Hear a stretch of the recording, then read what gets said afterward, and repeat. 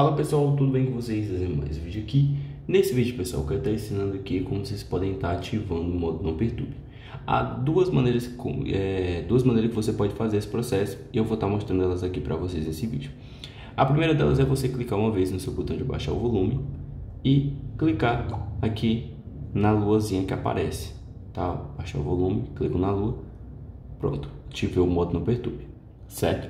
É uma das é, possibilidades que você tem de estar ativando essa função.